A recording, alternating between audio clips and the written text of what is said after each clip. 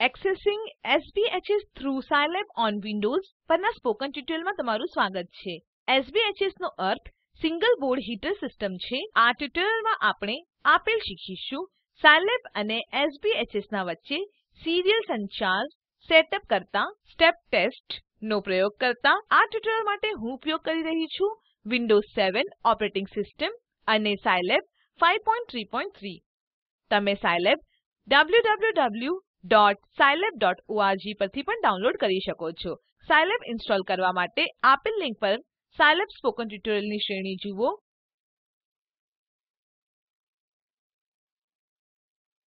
આ ટ્યુટોરીયલની શરૂઆત કરવા પહેલા introduction to Xcos connecting SBHS to computer ને પ્રથમ જુઓ. આ સંબંધિત ટ્યુટોરીયલ સ્પોકન ટ્યુટોરીયલ વેબસાઇટની આ શ્રેણી પર ઉપલબ્ધ છે.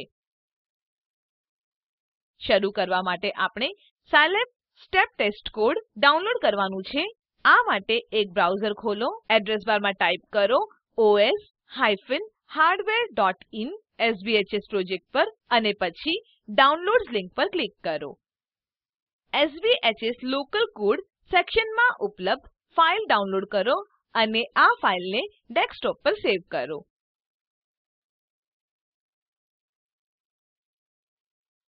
નોંધ લો, ડાઉનલોડ કરેલ ફાઈલ zip ફોર્મેટમાં હશે. આ ફાઈલ પર જમણું ક્લિક કરો અને એક્સટ્રેક્ટ હિયર પસંદ કરો. સાયલેબ કોડ્સ લોકલ નામક ફોલ્ડર બનશે. હવે આપણે આપણે પ્રયોગ કરવાનું શરૂઆત કરીએ. નિશ્ચિત કરો એસબીએચએસ એ તમારા કમ્પ્યુટરથી જોડાઈ ગયું છે અને ઓન થઈ ગયું છે. સૌપ્રથમ આપણે તપાસીશું કે કમ્યુનિકેશન પોર્ટ નંબર અસાઇન કરેલ છે. આ કરવા માટે માય કમ્પ્યુટર પર રાઇટ ક્લિક કરો અને પછી પ્રોપર્ટીઝ પર ક્લિક કરો. એક વિન્ડો ખુલશે. આ વિન્ડોમાં ડિવાઇસ મેનેજર પર ક્લિક કરો. નોંધ લો વિન્ડોઝ 7 નો દેખાવ અને ઉપયોગ કરવું અન્ય વર્ઝન કરતા પૂર્ણપણે જુદું છે. તમને આ સ્ટેપ્સને પરિવર્તન કરવાની પણ જરૂર પડે છે, જે હું તમને વિન્ડોઝ વર્ઝનના અનુકૂળ અહીં બતાવી રહી છું. ડિવાઇસ મેનેજર તમને કમ્પ્યુટર પર હાર્ડવેર ડિવાઇસની યાદી દેખાડશે. પોર્ટ્સ, કોમ એન્ડ એલપીટી વિકલ્પ પર જાઓ. આ અહીં છે. તેને ખોલવા માટે તે પર ડબલ ક્લિક કરો. જો તમને RS232 કેબલને જોડાણ છે, તો કમ્યુનિકેશન્સ પોર્ટ COM1 ને જુઓ. અહીં યુએસબી સીરીયલ પોર્ટ ને જુઓ. RS232 કનેક્શનના લીધે પોર્ટ નંબર વધુ કરીને COM1 જ રહે છે. યુએસબી કનેક્શનના લીધે આ અમુક અન્ય નંબર પણ હોઈ શકે છે. યોગ્ય COM નંબર નોટ કરો. મારા કિસ્સામાં આ COM14 છે. ક્યારે ક્યારે USB કેબલ જોડાયા પછી તમને એક બે ડિજિટનું COM પોર્ટ નંબર મળે છે. સીરીયલ ટૂલબોક્સ જે તમારા બોર્ડ અને કમ્પ્યુટરને જોડે છે તે ફક્ત એક ડિજિટના પોર્ટ નંબર ને હેન્ડલ કરે છે. તેથી આપણા કોમ પોર્ટ નંબર ને બદલવું જરૂરી છે. હવે હું તમને કોમ પોર્ટ નંબર ને બદલવાની પ્રક્રિયા બતાડીશ. તે વિશેષ કોમ પોર્ટ પર ડબલ ક્લિક કરો, પોર્ટ સેટિંગ્સ ટેબ પર, અને પછી એડવાન્સ પર ક્લિક કરો. COM port number drop down મેનુમાં પોર્ટ નંબરને કોઈ એક અન્ય ડિજિટ નંબરમાં પસંદ કરો. વિન્ડોઝ તમને આ પણ દેખાડી શકે છે કે બધા પોર્ટ્સ આ સમયે ઉપયોગમાં છે, પણ વાસ્તવમાં તે ફક્ત જૂનો સ્ટેટસ છે. તેથી જો કોઈ અન્ય USB ડિવાઇસ જોડાયેલી ના હોય, તો તમે બળપૂર્વક આ વિશે કોમ પોર્ટ નંબરનો ઉપયોગ કરી શકો છો. આ સેટિંગ્સને લાગુ કરવા માટે ઓકે પર ક્લિક કરો. પ્રોપર્ટીઝ વિન્ડોને બંધ કરવા માટે ઓકે પર ક્લિક કરો. ડિવાઇસ મેનેજર અને બચેલા વિન્ડોને બંધ કરો. હવે શીખીએ કે એસબીએચએસ નો ઉપયોગ કરીને સ્ટેપ ટેસ્ટ પ્રયોગ કરવા માટે સાયલેબ કેવી રીતે કોન્ફિગર કરાવાય છે? સાયલેબ લોકલ કોડ્સ ફોલ્ડર જે આપણે ડેસ્કટોપ પર સેવ કર્યું છે તેને ખોલો. સ્ટેપ ટેસ્ટ ફોલ્ડર ખોલો. Ser initસ્કે ફાઇલ પર જાઓ અને તે પર ડબલ ક્લિક કરો. આ પોતેથી જ સાયલેબ લોન્ચ કરે છે. એ ફાઇલ સાયલેબ એડિટરમાં પણ ખોલશે. જો આ ફાઇલ ખુલશે નહીં, તો ફાઇલ મેનુ પર ક્લિક કરો. Ser init ફાઈલ પસંદ કરો અને ઓપન પર ક્લિક કરો. સાયલેબ વર્કસ્પેસ પર જાઓ અને આપેલ કમાન્ડને એક્ઝીક્યુટ કરો.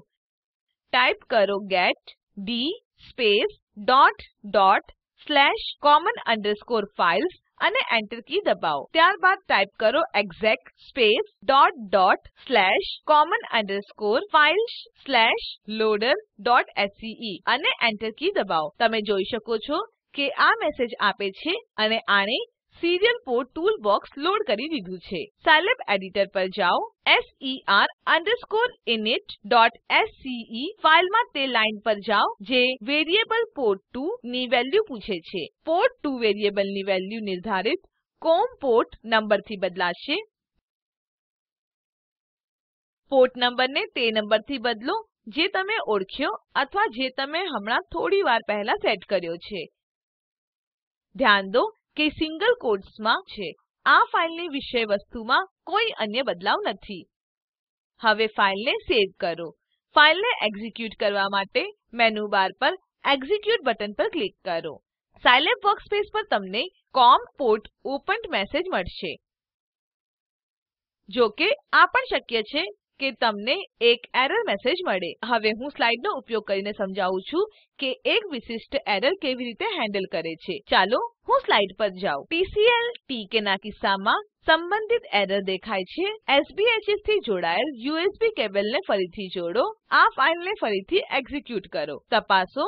જો કોમ પોર્ટ નંબર બદલાઈ ગયો હોય. જો આ હમણાં હમણાં જ કાર્ય કરી નથી રહ્યું, તો સાયલેબને ફરી શરૂ કરો અને પ્રક્રિયાને ફરી દોહરાવો. સાયલેબ વર્કસ્પેસમાં આપેલ કમાન્ડ્સને એક્ઝિક્યુટ કરો. ટાઈપ કરો exec space step test dot sci અને એન્ટર દબાવો.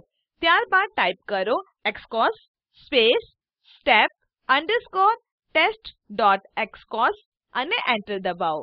આ સ્ટેપ ટેસ્ટ પ્રયોગના માટે બનેલ એક્સકોસ ઇન્ટરફેસને લોન્ચ કરશે. તમે બ્લોક્સ પર ડબલ ક્લિક કરીને બ્લોક પેરામીટર્સ બદલી શકો છો. તમને પ્રથમ વખતે પેરામીટર્સ ન બદલવાની સલાહ આપવામાં આવે છે. એક્સકોસ વિન્ડોના મેનુ બારમાં સિમ્યુલેશન વિકલ્પ પર ક્લિક કરો. હવે સ્ટાર્ટ વિકલ્પ પસંદ કરો. એક્સકોસ ફાઈલને સફળતાપૂર્વક એક્ઝિક્યુટ કર્યા પછીથી ત્રણ ગ્રાફ્સના સાથે એક પ્લોટ વિન્ડો દેખાશે. પ્રથમ ગ્રાફ હીટર ઇન પર્સન્ટેજ છે. બીજો ગ્રાફ ફેન ઇન પર્સન્ટેજ છે. ત્રીજો graph temperature in degree Celsius છે. નોટ કરવા માટે અમુક વસ્તુ છે. હું સ્લાઇડ પર જાઉં છું. ઈમેજમાં પ્રદર્શિતની જેમ એસબીએચએસ ડિસ્પ્લે પર ફેન, હીટર અને ટેમ્પરેચર દેખાય છે. નોંધ લો કે ગ્રાફમાં પ્રદર્શિત વેલ્યુઓ એસબીએચએસ ડિસ્પ્લે પર પ્રદર્શિતના સમાન જ હોવી જોઈએ. જો આ કેસ નથી, તો એનો અર્થ છે કે સાયલેબની એસબીએચએસ ના સાથે સંચારણ નથી થતું. તમે એ પણ ચેક કરી શકો છો, જો સંચાર એલઈડી સમય સમય પર ચમકતી રહે.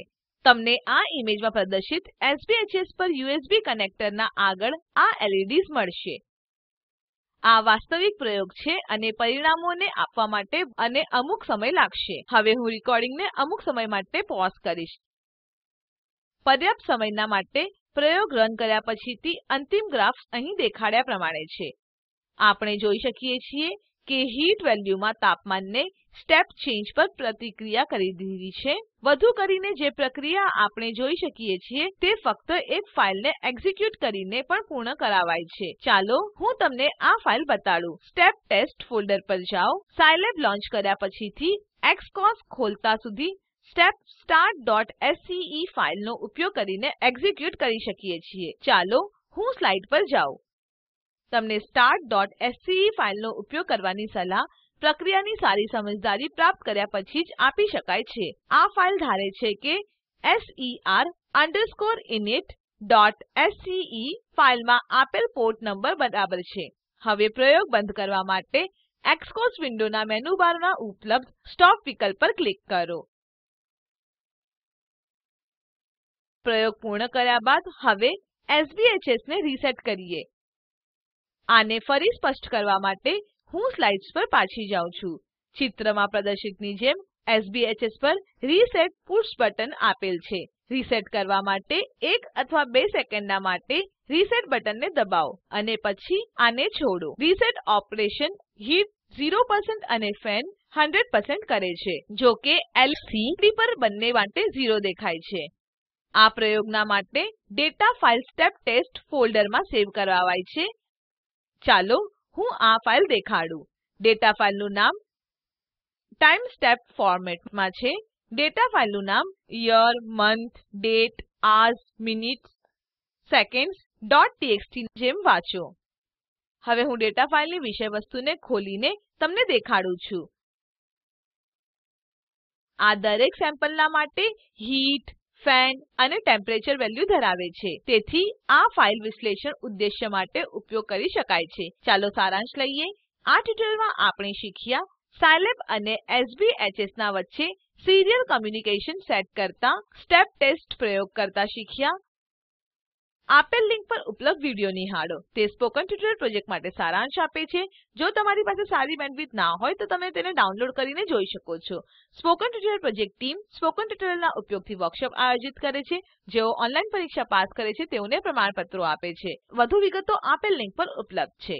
સ્પોકન ટ્યુટોરિયલ પ્રોજેક્ટ ને એનએમઈઆઈસીટી એમએચઆરડી સરકાર દ્વારા ફાળો આપવામાં આવ્યો છે, જે વિશે વધુ માહિતી આપેલ લિંક પર ઉપલબ્ધ છે. આઈઆઈટી બોમ્બે તરફથી ભાષાંતર અને રેકોર્ડિંગ કરનાર હું જ્યોતિ સોલંકી વિદાય લઉં છું. જોડાવા બદલ આભાર.